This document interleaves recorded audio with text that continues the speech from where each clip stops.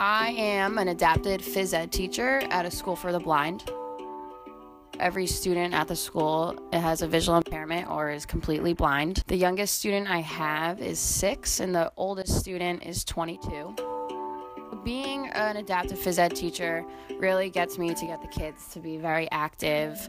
Kids with uh, visual impairments or blind have very high rates of obesity, so I really do try to get them as active as possible so we could get to decrease that um, statistic.